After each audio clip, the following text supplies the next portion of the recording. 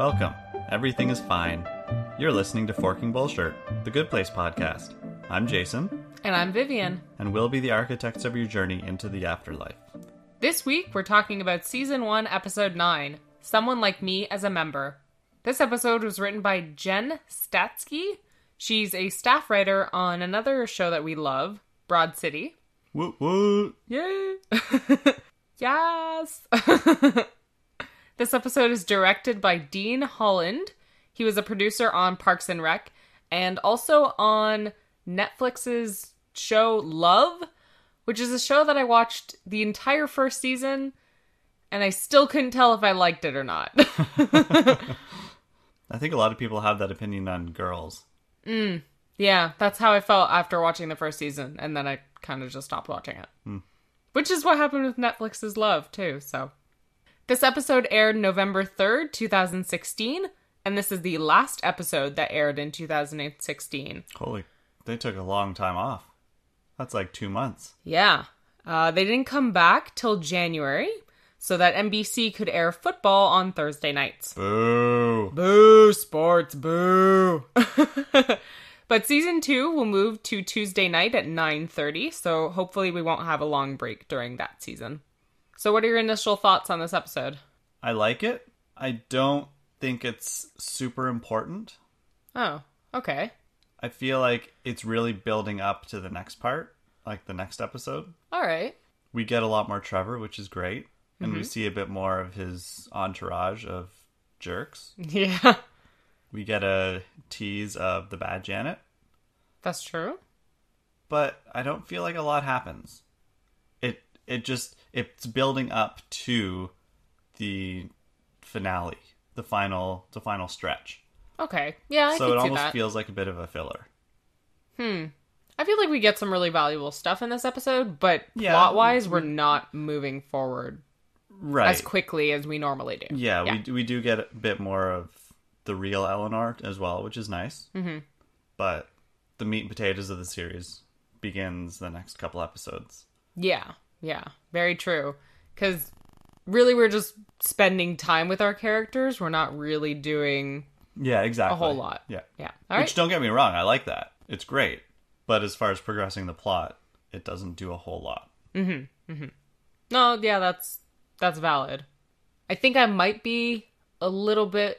I think I might like this episode a little bit more than you do, but I guess we'll find out as we talk about it. Mm-hmm. All right, so let's get right into it. Michael explains the mix up to real Eleanor and fake Eleanor. They were both killed the same traffic accident. Michael starts negotiations to keep Eleanor in the good place and urges her to stay on her toes. In the first flashback, we see young Eleanor reject all social groups at her high school, preferring to keep to herself. It really seems to me like they should have a photo of you in your file, because this would have prevented this entire mix-up. And we wouldn't have a show. Yeah, we wouldn't have a show, but maybe at this point they'll go, "Oh, we, we, we should have photos of them." Yeah. It would make sense. Especially for all the John Smiths in the world. Yeah, hello like some of them are going to be born on the same day in the same city exactly. and one guy could look completely different from the other have their pictures come on I guess Guys. it's such a rare occasion that somebody will die in the exact hundredth or like ten hundredth of a second Hmm. that they never really needed it. But come on. come on guys and then i started thinking about well eleanor's situation is a special case but what about jason he doesn't share the same name as the person he's supposed to be mm-hmm. it's possible that they died in the same second Yeah, but it doesn't also seem like they came from the same location exactly. so because it could Jason be died, as far as we know, in Florida, right. right?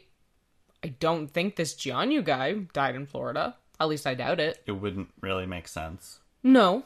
So it could be a whole other situation. Yeah. So what the heck is going on here? Your system is like messing up all Falling over the apart, place. Michael. Yep. It's crumbling. the foundation is crumbling to the core. We need to fix the whole infant in in I was gonna say infant structure. That's It's been a long that's day. a Rickyism. Um infrastructure.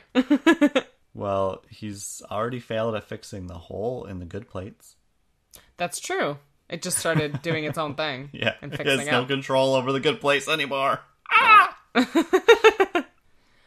In this scene, we see some of the members of Trevor's posse uh, busy taking selfies, and I started to wonder: Does social media exist? Or are they the just afterlife? being annoying because that's what annoying people do? Yeah, but how interesting would it be, like social media in the afterlife? You have like hell version of Facebook But maybe only the bad place has it. because social media is bad. Well, it has been t- known to be toxic on occasion. Yep. So maybe they have like a bad place version of Instagram. You know? Where nobody follows you. No one follows you. You wish nobody. Everybody posts really bad pictures of gross food instead of like good food. hey, just getting tortured today. Snap it. But like, I don't know. Yeah, anyway, it's just a little random thought I had, but it'd be kind of funny to see like someone do a mock up of the bad places version of Instagram and Facebook and Twitter. Or like Reddit or something. and if they would end up being exactly as they are now. Oh, it would be no different. Yeah, No yeah, different. No different. I'm sure someone's listening going, Vivienne, you know Facebook is the social network of the bad place, right? That's where it came from. We got the idea from the bad place. That's where you argue with your relatives about politics. Does that mean we are in the bad place? Oh god. I don't know. That's scary. Let's not go down that hole. That's why there's so many social networks and so many social media applications. That's why people keep sen- sending me emails to join LinkedIn. Oh my god. The worst. Okay. and send me penis enlarging emails. so Trevor keeps mentioning to Eleanor that she should smile more. Mm-hmm. And in the pilot, that's one of the bad deeds from the orientation video. Telling people to smile. Yep. Mm-hmm. Well, no, telling a woman to smile. Oh, okay. I don't think I don't know whether that's something that guys deal with because I've never had somebody say that to me. No one's ever told me to smile. I don't know. Maybe that's just another female problem. that makes it sound so like female problem. But it, yeah, a problem that that women generally have Deal to deal with with. more yeah. often. Yeah. Mm-hmm, mm-hmm. It's like, oh, dude, you should flex more. Would that be the equivalent? Maybe you don't feel like flexing today. Yeah, gosh. Maybe my pecs are a little swole from last night and they're sore. So, I will not make them dance for you, Yeah. ma'am. But yeah, just some guy being like, "Hey, baby, you should smile more. You're so pretty," you know, and you're like, "Eh, no." so it's No. very fitting that Trevor asks Eleanor that because it's pretty douchey thing to do. Yeah.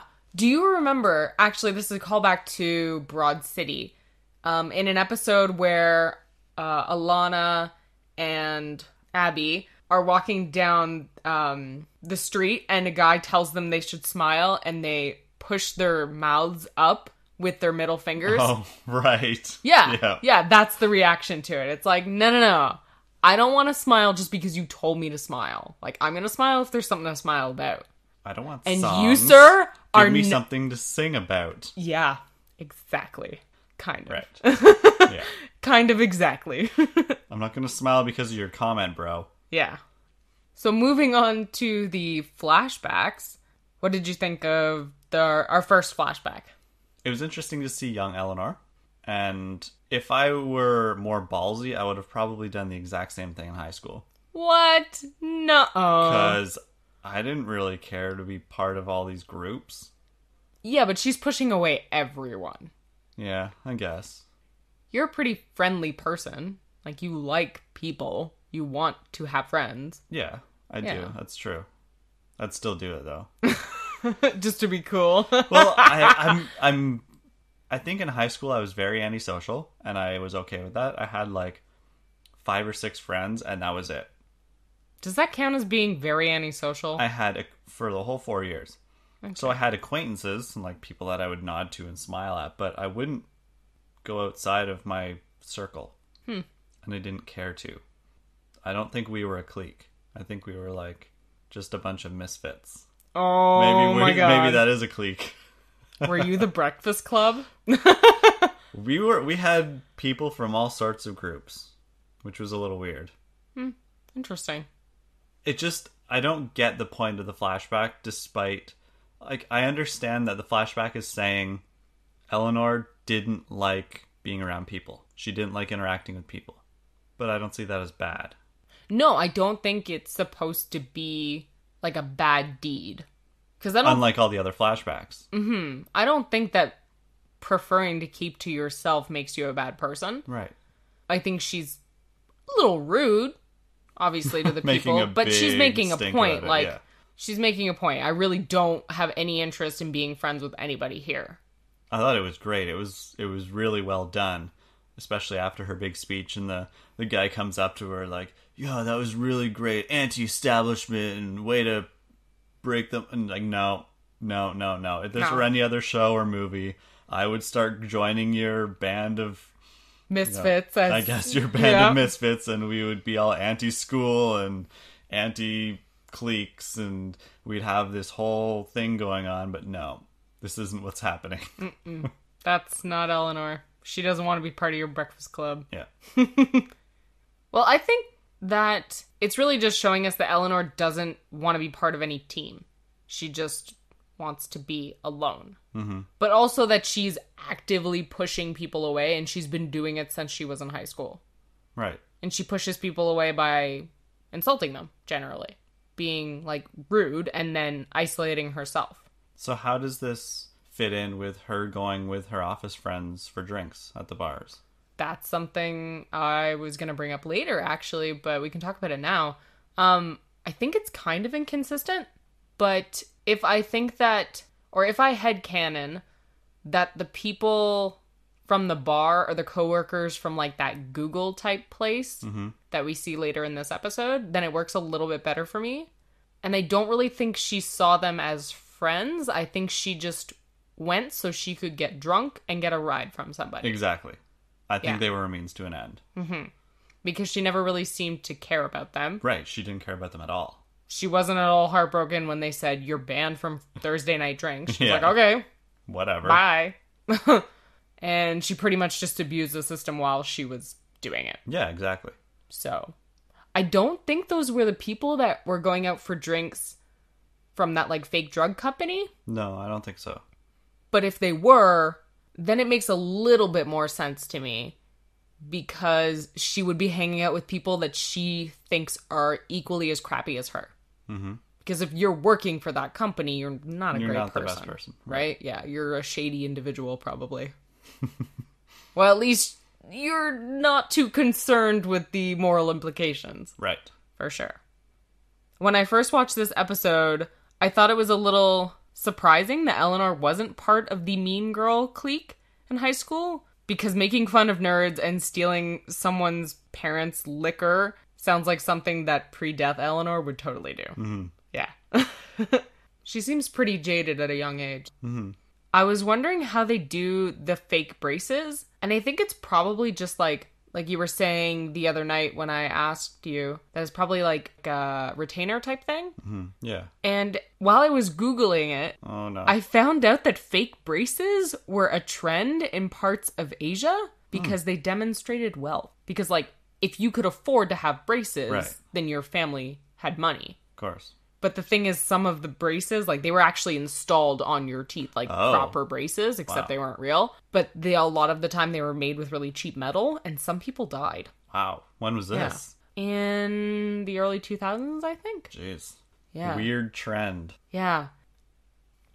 I found out that the title of this episode actually comes from a Groucho Marx quote.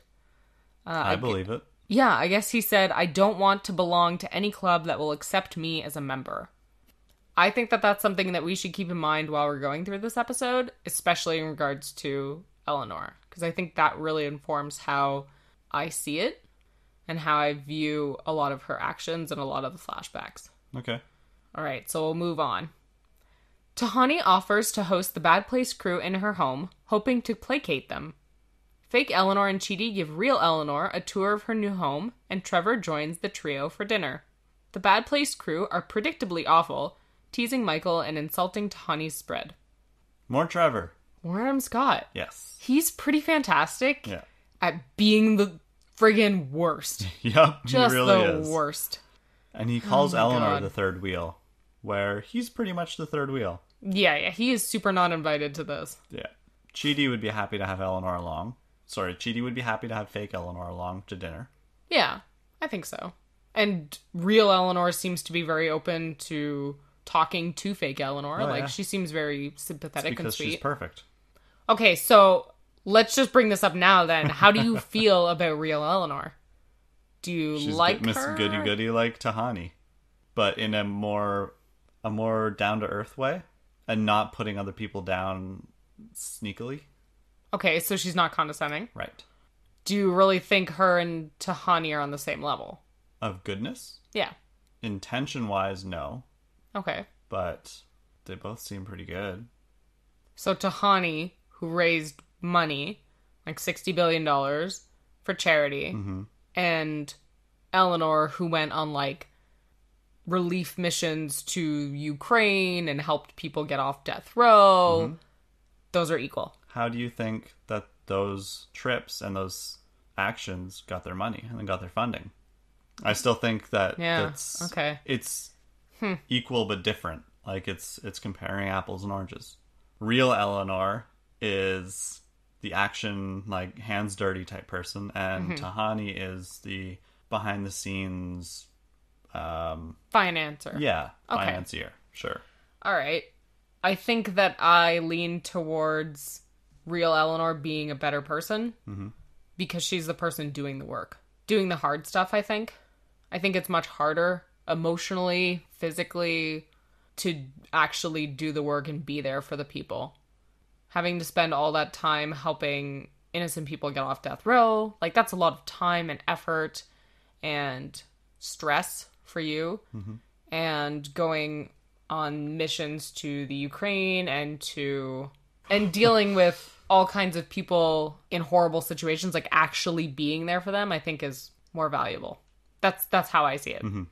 Not that the money that these organizations get isn't valuable. Obviously they need that money for mm-hmm. supplies and all that kind of stuff, but yeah, I think being there is more important. I think the world needs both people. Hmm. Both people so that the work happens. Yeah. Okay. I like real Eleanor. I think she's sweet. I think she seems really perfect, but I think that's the point of this episode too Yeah, because we're seeing it a little bit through Eleanor's eyes, right? She's comparing herself to a person who seems to be perfect. Yeah. When you first meet someone like that, you don't tend to see their flaws first. You tend to see everything that they're amazing at and everything that's amazing about them, Yeah. and you can't help but compare yourself, right? And multiply that exponentially with Eleanor because she took her place. Mm-hmm. So Yeah, exactly. They have the same name. They're being compared by literally everyone else. She's being called fake Eleanor, like she's already being put down with that name. yeah. She feels like she's losing a bit of a connection to Chidi now. And she probably feels like she's being really selfish about it too, because of course she wants to keep Chidi in her life and still stay friends with him. And I think maybe there's a spark of romance there. I think so, anyway. And every time that real Eleanor mentions being tortured and everything, that's like another stab at fake Eleanor.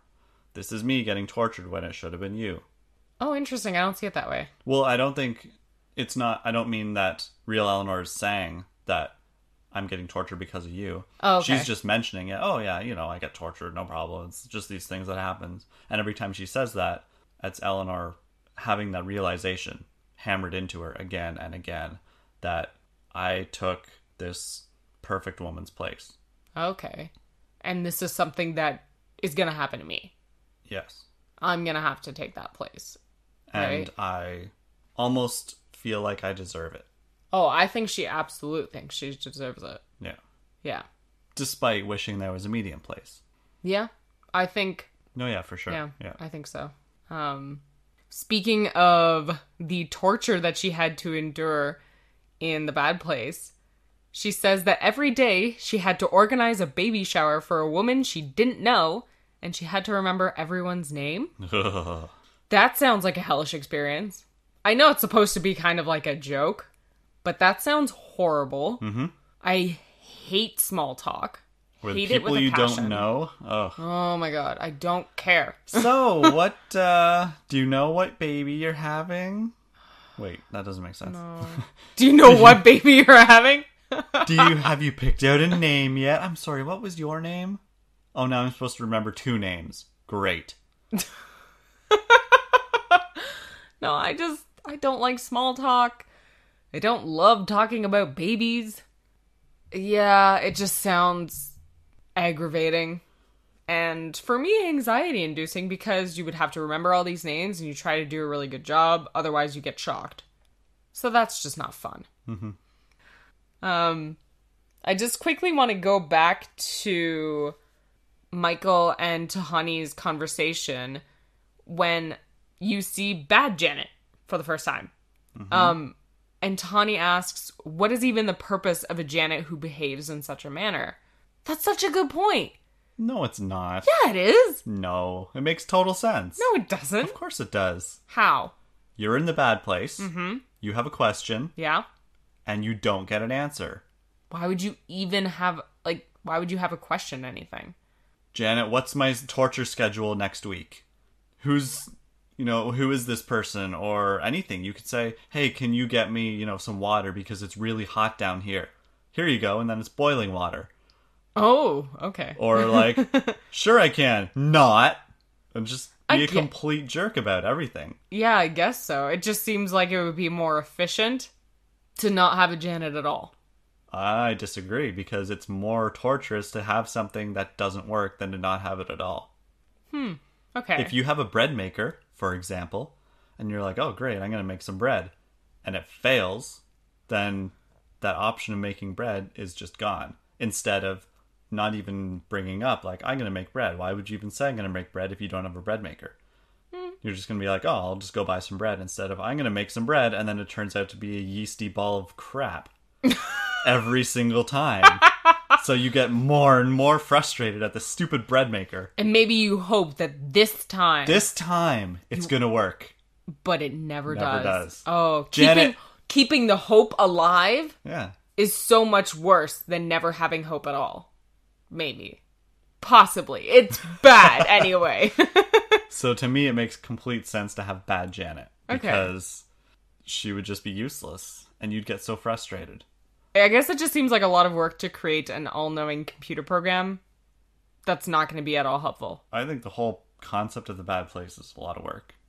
Some of the activities that are mentioned are fairly elaborate, like having a baby shower planning time and needing to know names and then getting tortured if you don't remember it and then you've got sleeping on a bed of nails and I'm sure there's all sorts of other activities that are lined up. And Yeah. that's all Trevor Yeah. does. That's all they do is probably come up with ways to torture you I guess so. in crazy and weird ways. And really, they could just be more efficient if they made everyone in the bad place feel like they were right about to drown all the time, Right. Or, Or like you get skinned burning alive. alive Sure. all the time, and no variation on that. Boring. Trevor would get bored. Yeah. I guess they probably do it for their own entertainment just as much as they do for torture. So- Absolutely. Okay. You've talked me around on Bad Janet. I'm interested to see if any of the listeners agree with us now, or if they really do think that Bad Janet is pointless. In the extended episode, Real Eleanor mentions that another orphan taught her to read and write, but it turned out to be a gibberish language that the orphan taught her as a prank. Mm-hmm.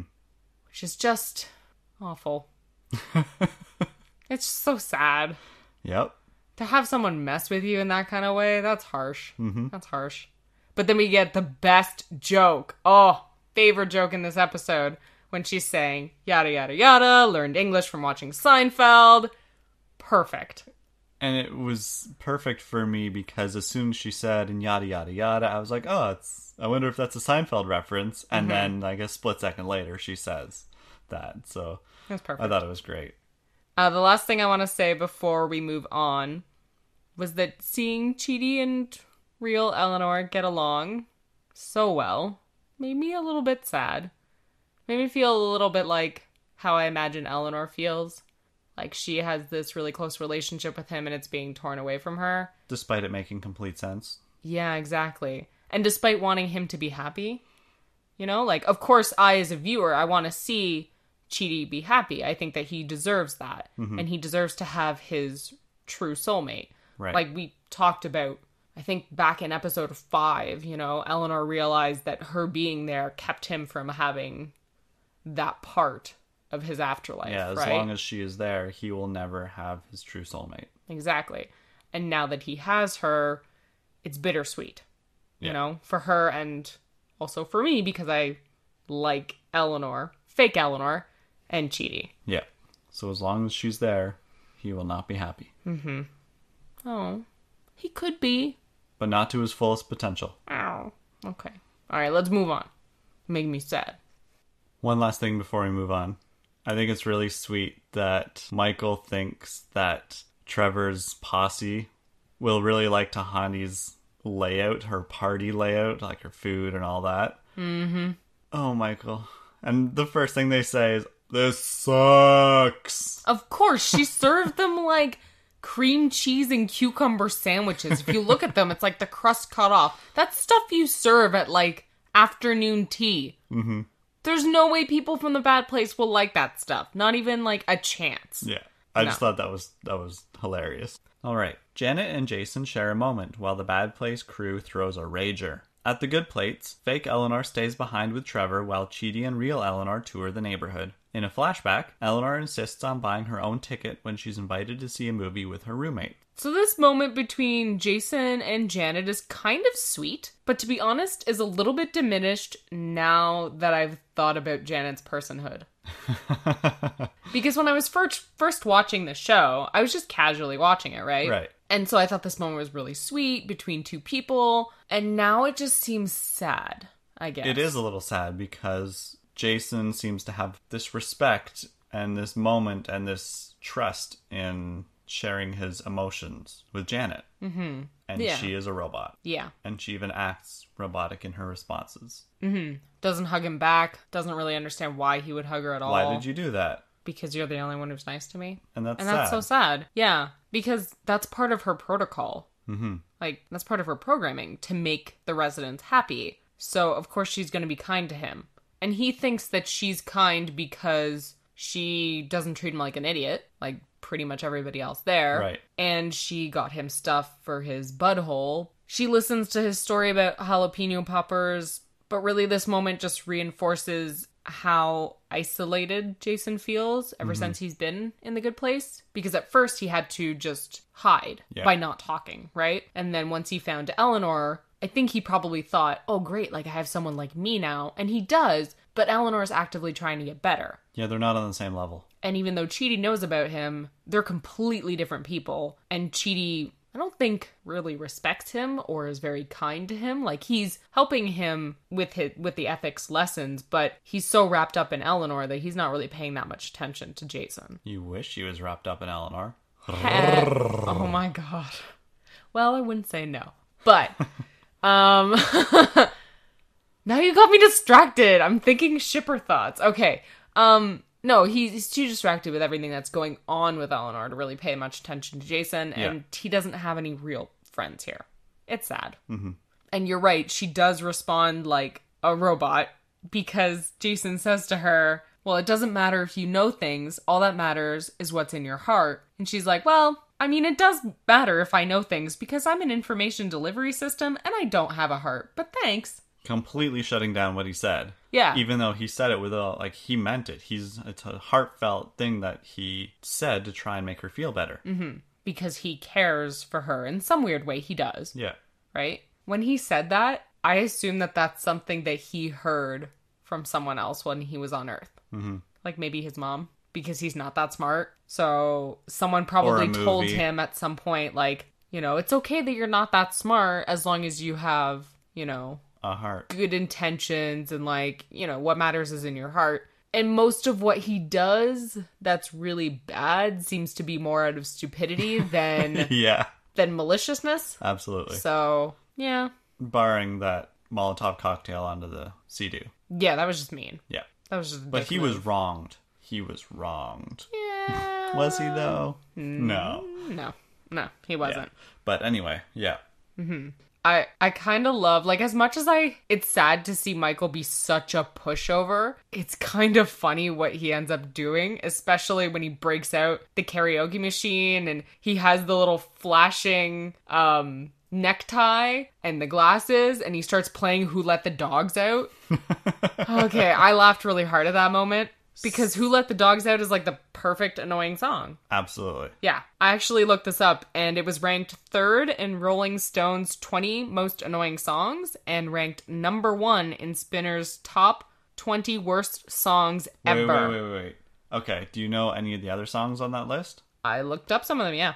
Was Cher's Believe in Love or yep. Oh my god. Cher's Believe was part of that. Oh, yes. The other songs that I noted were My Humps by the Black Eyed Peas, Okay. which is god awful. uh-huh. Alanis Morissette's cover of that is really funny. Oh, I haven't She heard that actually one. did a cover of it. It's great. Huh. And then there's Céline Dion's My Heart Will Go On, Really? Aw. Which is, I think it's only annoying because it was probably heavily overplayed Oh, when. Titanic came out. And, it's And- it's a very sappy song. Like it's it's very sweet, but it's very sappy. And it's got a recorder in it. Oh my god, it does. Yeah. Okay. So I recently watched Titanic. A yes, couple you of nights did. ago. The other night, I walked into the living room and I was like, "Jason, what are you watching?" Uh, Titanic. Leo's on the screen. Kate Winslet. Uh, just uh, just popped on Titanic. yeah, you know, casual movie, no big. Three hours, like twenty minutes later.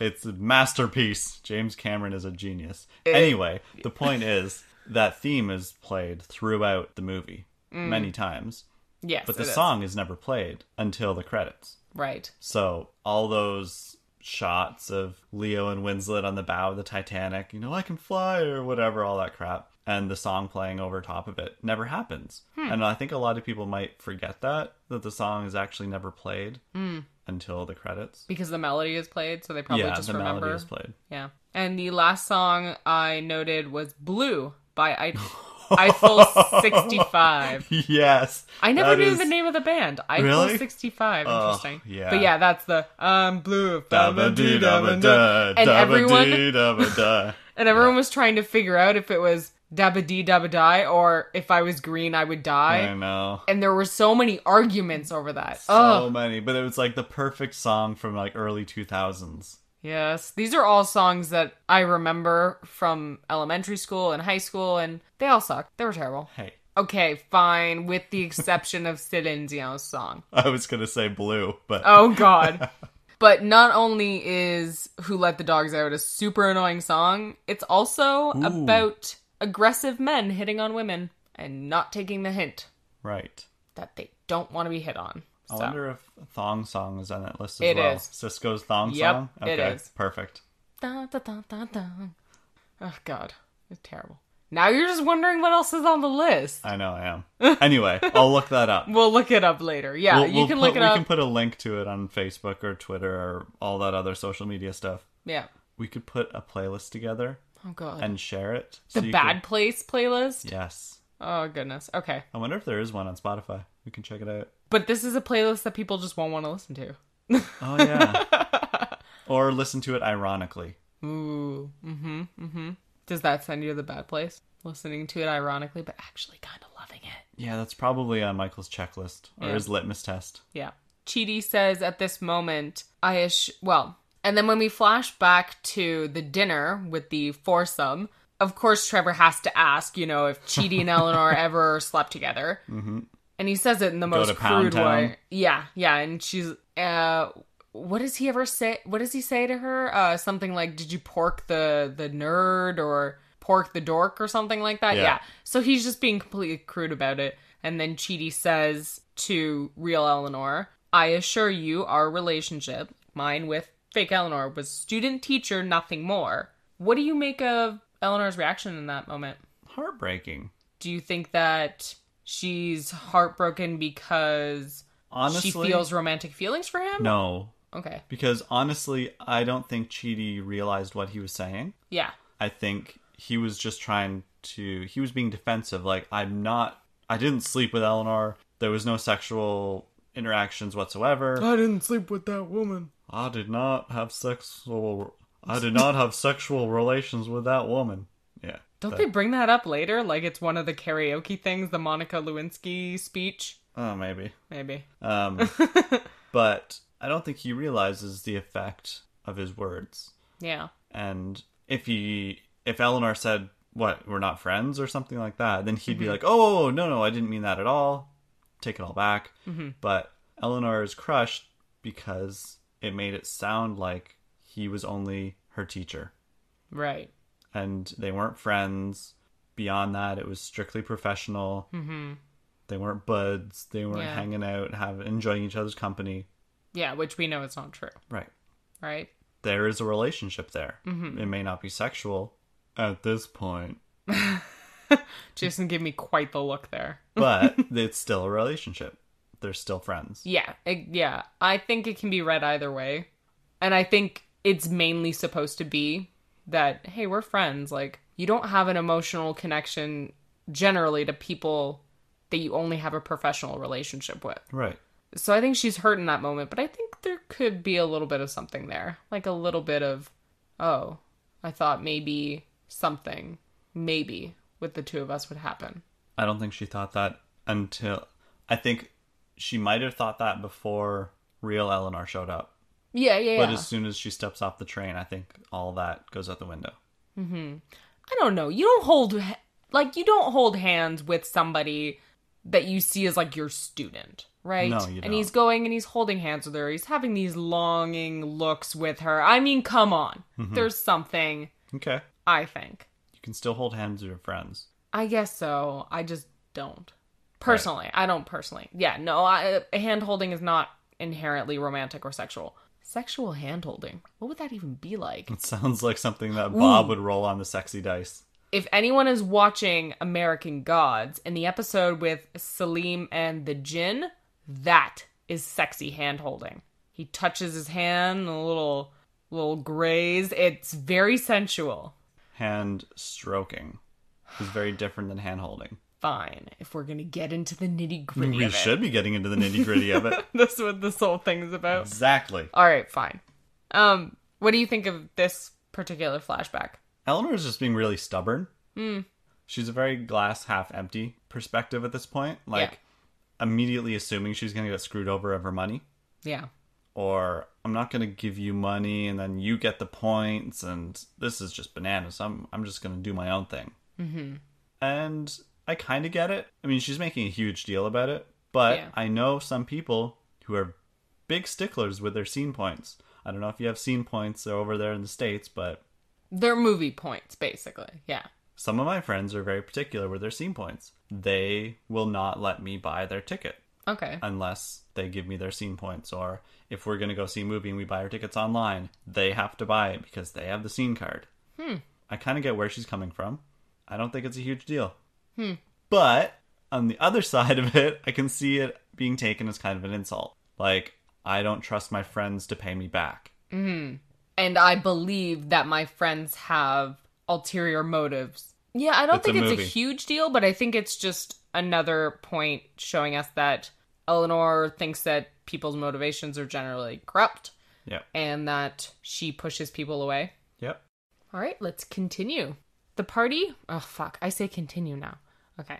All right, let's move on.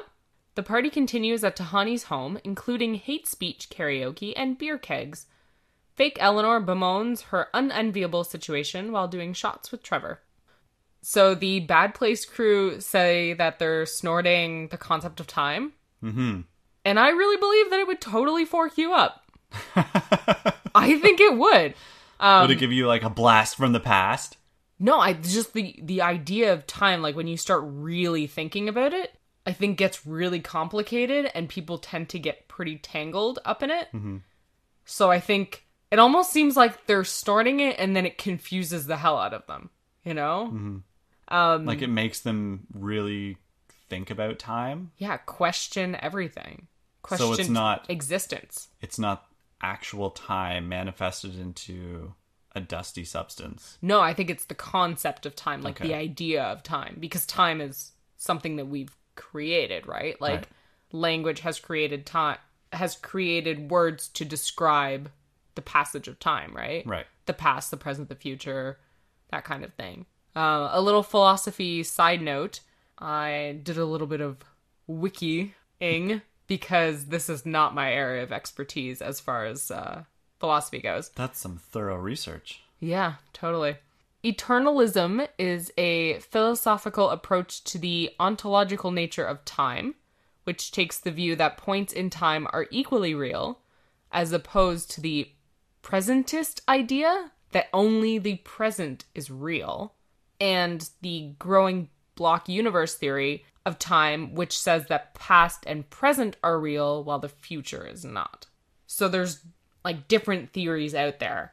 So it's interesting that idea of past and present and future being real.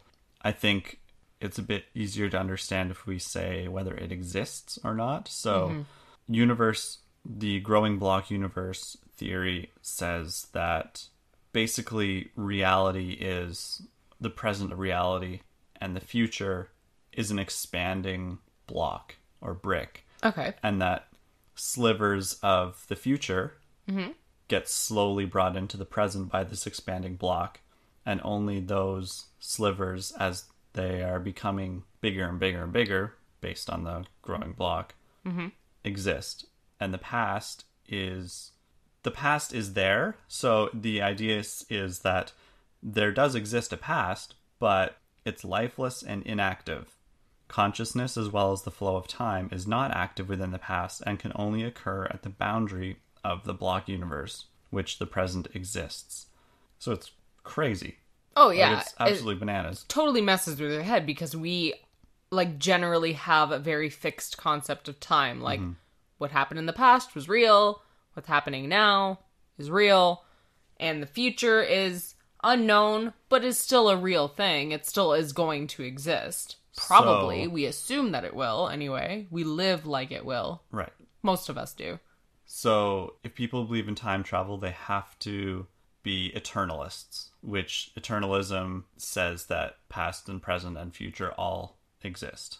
Yes, all points in time are equally real. Right. Yeah. So, maybe accessible.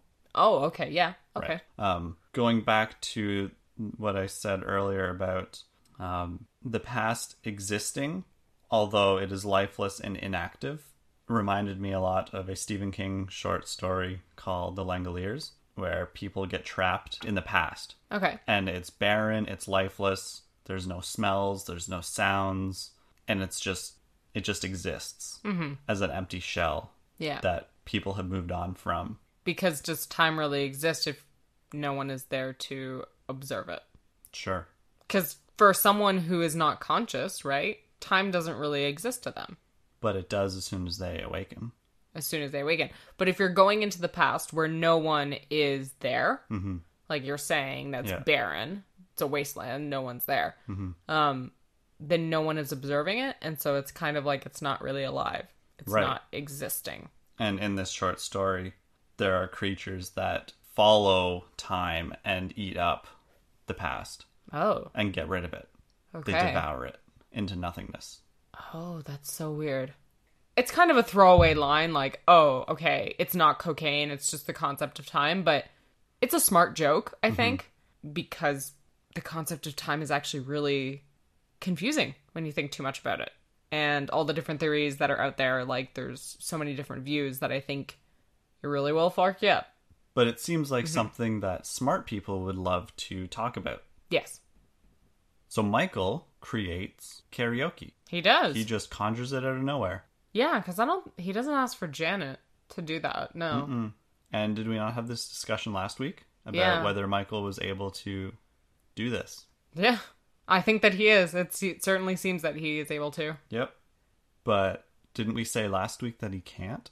Well, I think we were saying that maybe there are certain things he can't conjure. Like Eleanor's file might be inaccessible to him because he's currently in the good place. And maybe that's just out of reach. Okay. But he's able to manifest things like a karaoke machine and that kind of stuff. A coffin Yeah. Yeah. and a I banner. I think that's where I land on at this point. I think that he can do like basic retrieval of things, but maybe not stuff like files. Like that Eleanor's files. Yeah, yeah. Okay. He mm-hmm. doesn't have access to the bad places filing system, which is probably really bad. Oh god. It's probably maybe that's why. Janet couldn't find anything. Well, yeah. Well, part of it. Part of why she couldn't. Yeah. Yeah. I could just picture a room like the Crumpled up balls of paper. Well, like the vault in Indiana Jones at the very end when they're putting the Ark of the Covenant in there, and it's just an endless Costco size warehouse full of paper that's just stacks of paper that are fallen over and Oh my god. half buried and Sounds like a nightmare. there's an old lady in there that's like sweeping There's and someone she constantly yeah. is moving files around because she's sweeping them in other piles Mm. and ugh There's someone in the bad place who is being tortured by t- trying to file all that stuff and never being able to. ugh That's terrible. absolutely or correct every time they kind of get it right, they get a paper cut ooh in like the finger crotch. Or there's somebody. Oh yeah, yeah. uh. and if you don't know what I'm talking about, the place where your fingers meet, that's your finger crotch. yeah. Worst place to get a paper cut. I think there's two people filing, and one person is told to do it alphabetically, and the other person told to do it like numerically or something, and they both Oh, God. are don't aren't aware of the other person, so the files keep getting moved around, and someone keeps taking the files from somebody else, and oh, it's just a nightmare. I think we're giving somebody out there who has an office job who does filing a nightmare right now. Like we're gonna fuel their nightmares. I apologize. I don't right now. Harsh. so when Eleanor's having shots with Trevor, Trevor's assessment of Eleanor doesn't account for her time in the good place at all. Like he's just thinking of her as the person that she was on Earth. Right, which is fair because that's what That's what she's being judged on. Right. Yeah. Um his behavior in this entire episode is like really insidious. He repeatedly calls her names. Not only does he coin the name fake Eleanor, but he calls her a trash bag. Um he calls her a like a human made out of mulch and dead leaves and dead slugs. Um he's also calling her like really infantilizing and frustrating like little pet names like sweetheart and babe. Um and then he's forcing her to spend time with the real eleanor because he invites the two of them to go for dinner with them forces her to see Chidi with his true soulmate and he really succeeds in making her feel worthless he's doing his job in the bad place. He's doing it up into the good place. Yeah. And he's not really violating any rules. Like, he's not torturing her physically. Mm-hmm. Emotionally, he is, though. So we see that there's a loophole, there's a way to get around this system. Like, you don't actually have to be kind and Yeah. good here. You can make people feel like crap in the good place. Just using your words. Yeah. Yeah. And the people that are surrounding you. Mm-hmm. And in this moment, she gives up the fight. She does, and it's really sad to see. Yeah, it really She's is. defeated. Yeah. She feels like not only does she belong in the bad place, but she deserves to be there. And that I think is the heartbreaking part for me is because we've seen her improve, right? And for her to still think that that's what she deserves as an afterlife is really sad. I think she felt like she could start to belong here until Trevor arrived and Yeah. started cutting her down. Cutting her down slowly and slowly. Yeah. Like a kind of a death by a thousand cuts type of situation. Yep. Yeah, that's hard. Tahani is upset that Michael let the Bad Place crew mistreat him. The next morning, everyone gathers at Tahani's for negotiation session. Eleanor and Michael fe- Eleanor and Michael fight to keep her in the good place, and Trevor threatens to call Sean the wise eternal judge. In the final flashback, Eleanor rejects an offer to work full time at a community oriented company and rejoices in the solitary work environment of the fake drug company. The episode ends with Tahani confronting her soulmate. Tahani gives Michael some really solid advice in this episode, actually. And what does she say to Michael? Well, she tells him to stand up for himself. Mm-hmm. Michael in this episode is a parent of a teenager and doesn't know how to handle them. That's what it, it really felt like he was saying, These are the type of people that scare me. And it mm-hmm. just felt like an old person saying, Teenagers scare me Oh goodness, because yeah, they're kind of. so loud and obnoxious. And that So- music they listen to isn't really music. Exactly. Yeah. So I, it really felt like Michael was the parent of an unruly teen who doesn't know how to handle them. Mm-hmm. Yeah. They're acting out and they end up on Maury or something. Yeah. Oh God. You're not doing a great job if your kid's up kid ends up on Maury. Or Dr. Phil. Catch me outside. How about that? Um, and going back to Eleanor and Chidi, when Chidi wakes Eleanor up in the bathtub, um, she tries to give him an out.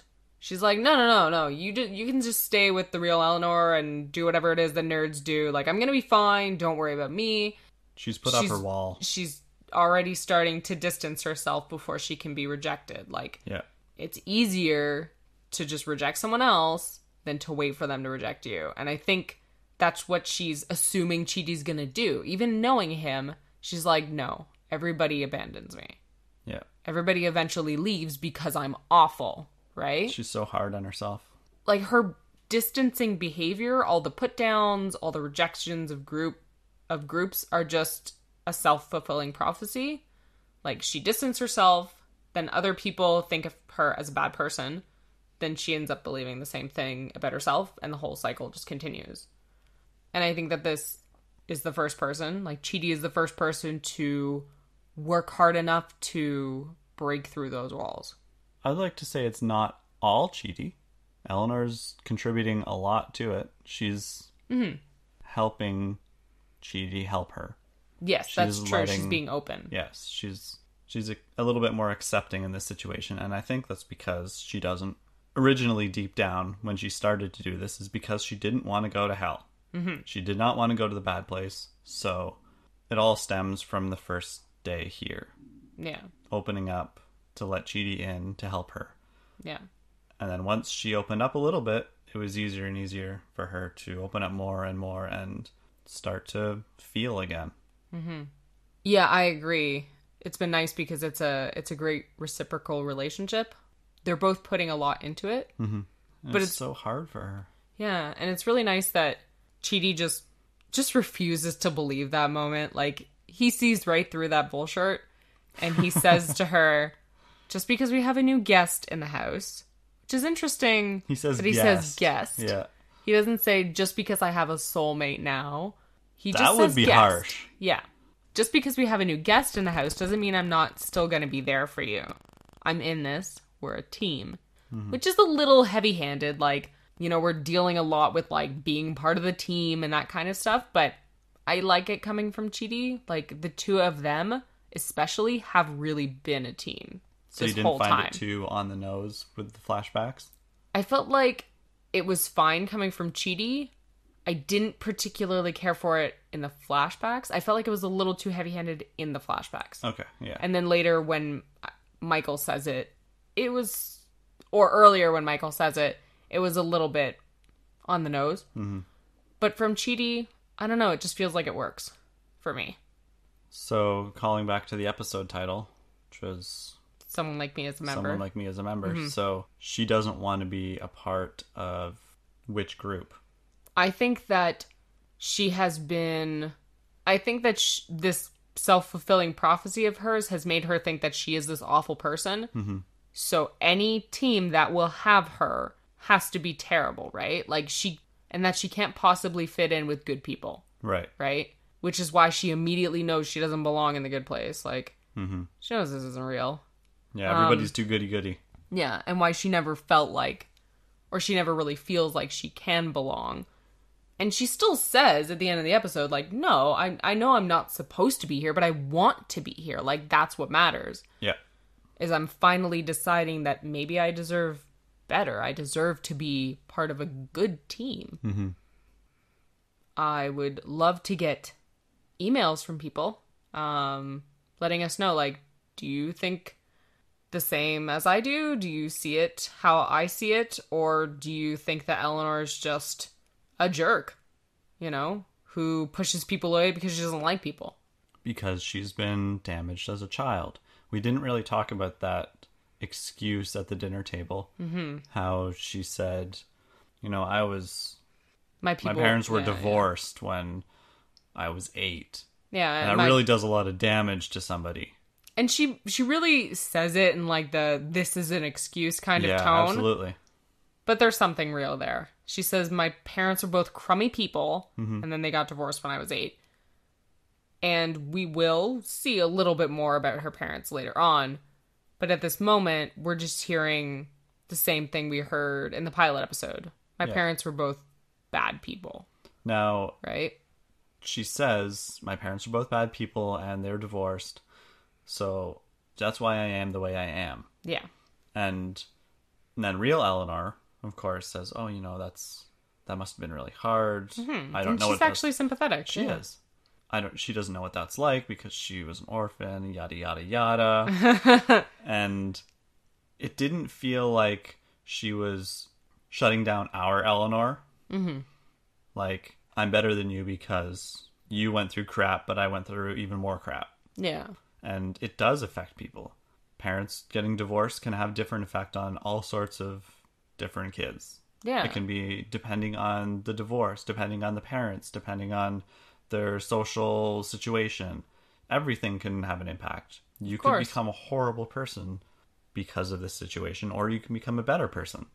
yeah. It's unfair for Eleanor to blame everything on her parents, yeah, I agree. but it's unfair for us to say that She shouldn't be she affected shouldn't at be all. affected at all. Yeah, exactly, okay, because you know, fifty percent of people go through divorce. It's no big deal. Yeah, It's a and- normal thing, and just that's like what, Trevor, is said. saying. Yeah, Exactly. like oh, the only the thing that happened to you is what happens to fifty percent of all kids in America. yeah, get like over it. for some reason that makes it not Yeah, that doesn't make it okay. upsetting or traumatic or Yeah. however it was. Like, and then she doesn't just say my parents got divorced. She says my parents were crummy people. Mm-hmm. She doesn't go into detail about it. The fact that she doesn't go into detail to me makes me believe that there's a lot more to it. Like it's worse than she says Oh, okay. because I think she would she might be the type of person to go into detail Mm-hmm. if she wasn't so affected by it. Yeah, maybe. Yeah, she hasn't really shared anything about. maybe brag her life. about how crappy they were. Like, my dad lost all our money at the tracks, and my mom smoked away our rent. Smoked away our rent. I don't know, drugs Yeah, are whatever. bad. Whatever. Drugs are bad. I don't know. but yeah, Um, all this to say that even though Eleanor was using that as an excuse, she's not doing that in the good place anymore. So she's changed her mind. She's decided, yeah, whatever happened to me happened, and I'm going to make the best of my situation and try to be better. which in all honesty, she should have done like 20 years ago. Yeah. But But she's doing she's it now. She's doing it. She's making the steps. Yeah. And it's important. Mm-hmm. Which is all part of Chidi's argument against the good place being so black and white and not taking into account people's growth after their death. Most improved player. Yeah, exactly. And another little point I wanted to bring up is that the negotiations in this episode brought up the notion of justice for me Yeah. because the It was like a democracy. Yeah in a way. And then like they're they're negotiating right? And it's just to get the people from the back place to go mm-hmm. and for them to still be able to keep both eleanors. But then i started thinking okay well the afterlife is a lot a lot of it is about justice right? Especially the bad place right? The bad place is all about punishment. Mm-hmm. So i wanted to hear your thoughts. Do you think justice is about equality or about fairness do you think it's about getting what we deserve or getting what we need Getting what you deserve is completely based on like a judicial court. So that to me is justice. okay right now they don't have anybody governing the situation. It's two lawyers fighting head to head. yeah So it doesn't matter what Trevor thinks is just mm-hmm. Or what Michael thinks is just because there's no mediator. So they need a mediator. they need sean They need Sean. yep So, personally, justice can't be reached until somebody higher up brings the ruling. Okay. And what do you think, just from watching this episode, what do you think Sean's view on justice is going to be? I think his view is going to be Trevor's view Okay. because in the good place or the bad place, people are judged pre death. So in that situation, Eleanor would go to the bad place. But that's, I believe that's only because that's how it's been done. And that's how it's always been done. Mm-hmm. And maybe it shouldn't be. So what do you think? Do you think in this situation, what is your idea of justice? I think that Eleanor should be given the chance to improve because she's already shown improvements. So do you think everybody should be given a chance to improve? I think that the system Pre-death. as it is is broken. Mm-hmm. And I think, yeah, there should be. I'm not sure how I would go about constructing that or anything like that. Yeah. I, don't- I don't have any concrete You're not plans the here. architect. But yeah, I think that people, especially like Eleanor, who weren't going around killing people, I'm not saying try and rehabilitate like Charles Manson, but Eleanor, someone who was crappy and also probably crappy because of crappy things that happened to her too. Like Sure. part of that is because she grew up in a bad environment and trying to show them love and friendship and make them a better person through education and kindness and mm-hmm.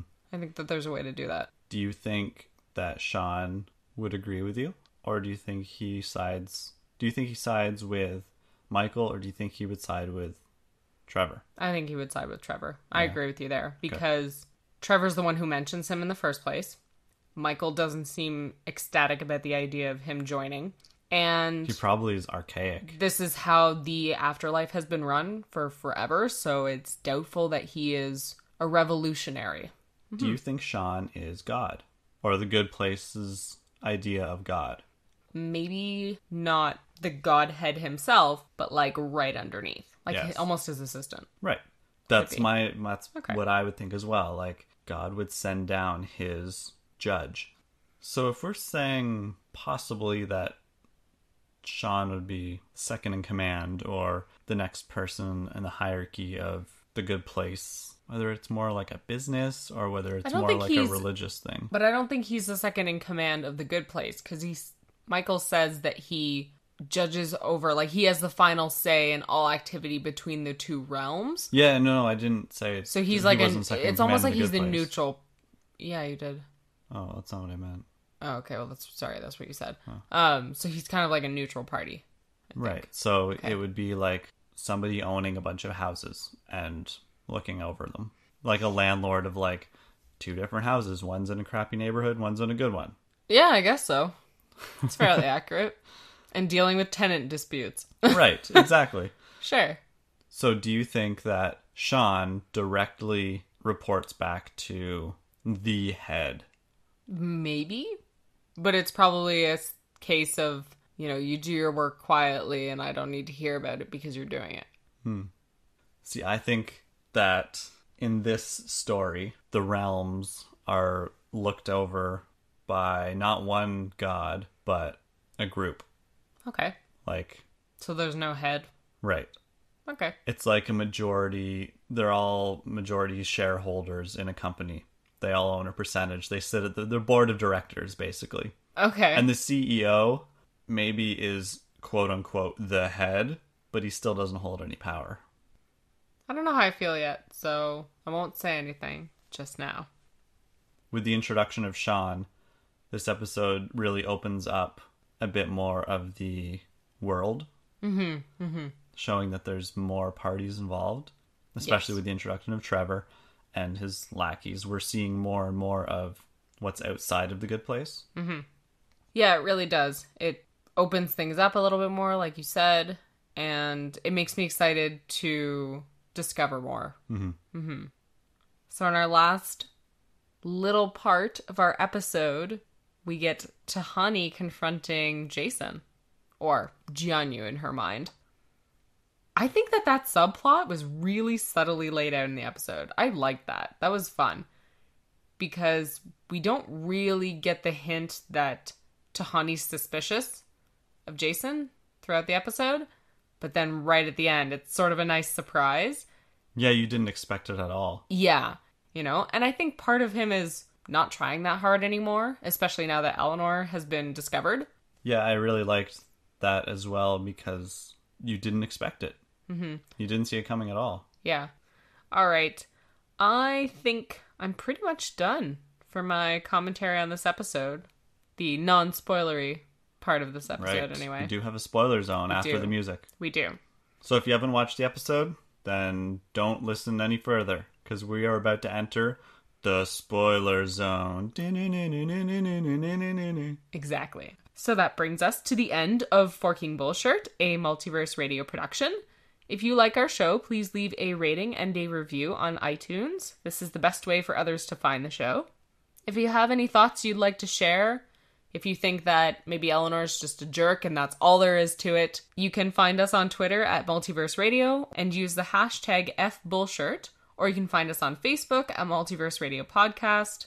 And you can also visit our website, multiverseradio.ca. Yes, CA because we're Canadian. Woohoo. Cheers, eh? yeah. We sounded like a goat. Whoops. Um, we will see you next week for our review of episode 10, Chidi's Choice, Mm, which is a fun shipper episode, if I do say so myself. spoiler. Spoilers. Not really. Not really, though. All right, see you guys next week. See you then.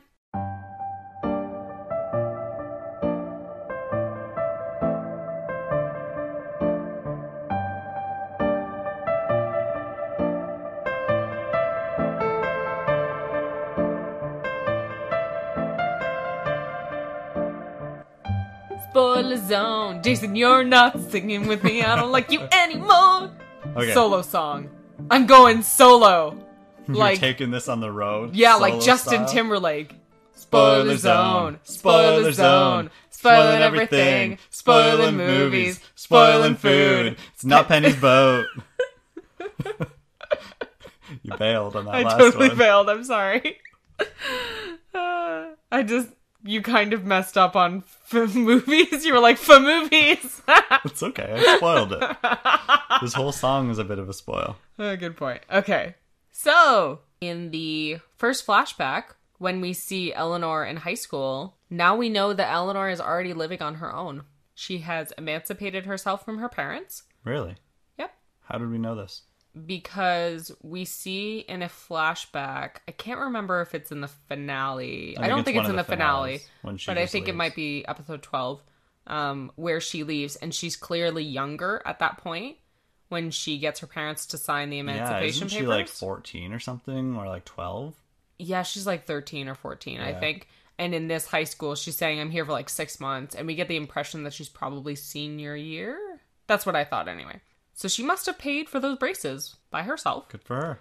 and she made it to college and well she made it to high school and to college all on her own and she was probably working while going to school too Yeah. so when eleanor the real eleanor who's not actually eleanor at all but this actress saying you know i put myself through law school and i did all these other things like yeah those are all admirable things but Our Eleanor Eleanor, did it. a pretty great job of taking care of herself. Like Going at solo. least, you know, in a basic needs kind of way, like keeping herself fed, getting her education, that kind of thing. Mm-hmm.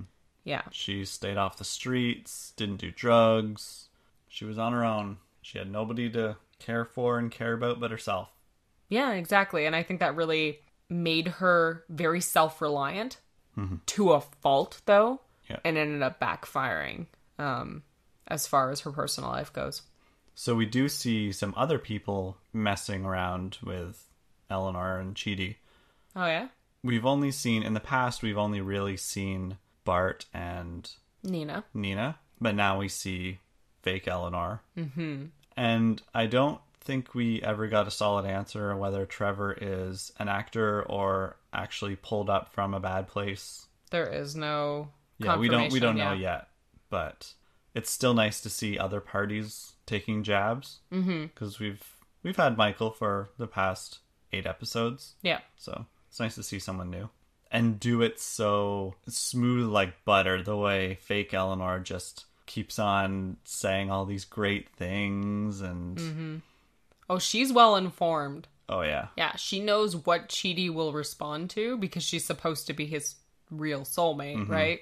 So she's playing him like a fiddle. exactly. Yeah. Oh, so sad though. Poor Chidi. He doesn't So deserve that. Chidi in this episode is getting no torture except for seeing Eleanor being hurt. Yeah. Then when he sees Michael stand up for her, then he feels better. Like you can see the relief on his face. Mm-hmm. And he shares a nice little moment with Eleanor that I actually forgot to bring up there. He's staring at her like he he looks over at her and he's got this look on his face like we got you. We got you. Like you are part of our team. Yo, we got you, fam. Yeah, toad, totally. Um, I said toads.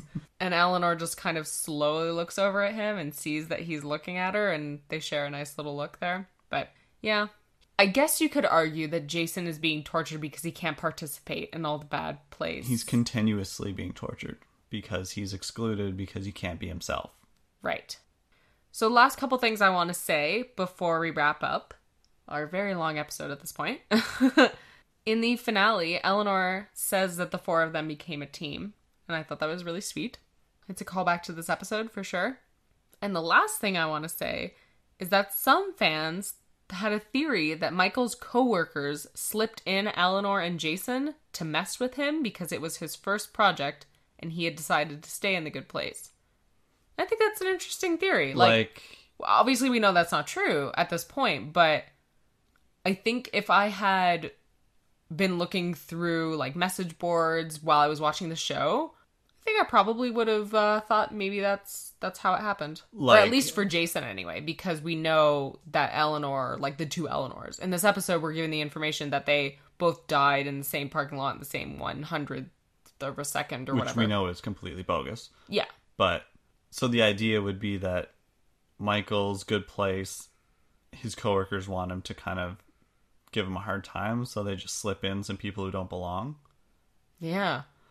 Interesting. It's interesting, but then that's it that's messes. fun to think about, but it since messes we know with- how it ends, Yeah, and it messes with your idea of what the architects are about, right? Like if they're if they're The trying architects? to do something like this that's messing with people's afterlife Mm-hmm. And their emotions and stuff, then that's not. do you think there nice. are good architects and bad architects? I think that there are good place architects and bad place architects, and I think do you think the good place architects are good people, and I think the bad place architects are bad people. Do you think Trevor is Maybe the bad place architect? what if like those people are evolved from the people who got to the bad place like you like go to the bad no you okay so imagine eleanor had gone to the bad place she goes there and then like during her eternity she slowly moves up the ladder and becomes an architect. Do you think that could ever happen? That'd be interesting. Anyway Hmm. that's just a thought. Very random. Probably never gonna go anywhere. But think about it guys. Think about it. So does this mean that Trevor is the bad place architect? I don't know if he's the bad place architect because I don't know if the architects ever go and stay in their neighborhoods because when Michael proposes staying there, everyone's like, "What? We don't do that." Right. So So I think he's just kind of the manager. I think okay, it makes sense for me because the architect, if the architect was living in Trevor's bad place, Mm-hmm. if the that bad place architect was living there, then Trevor would not be there Yeah. because the architect would be there. yeah. So if this were the good place, Mm-hmm. then and Michael was not living there, then there would be another manager like Trevor, but good place version. Possibly, yeah. Yeah. It's it could be a little bit different because the good place is just people living out their afterlife, you know, day-to-day life kind of stuff, right? Trying out new but hobbies. in the bad place, it's being tortured. So Yeah. somebody has to oversee the torture. Exactly. And in the good place, you can just have Janet. Yeah. Okay, that makes sense. Yeah. And if a problem arises, then somebody can come in. Janet can go get head security or something. yeah. Okay. Well, So we leave you with some thoughts, listeners. Mm-hmm. What do you think? Email us your opinion. All right. Thank you so much. If you've stuck with us through the spoiler zone, then you are quite the dedicated fan, and we appreciate it. yeah, if you're listening to us right now, that means you stuck with us. Good yeah, exactly. Yeah, good for Pat you. Yourself good for us. Back. High fives all around. Self five. Um, all around, Jason, there should be way more high fives. That's not gonna get annoying. It's all around the mic. Oh right, okay. Cute. Someone listening's gonna be like, oh surround sound. Surround sound slaps. Someone's slapping my head all around it. High fiving your head. Think on the bright side, guys. Okay. And that will do it for us this week. Bye. Bye.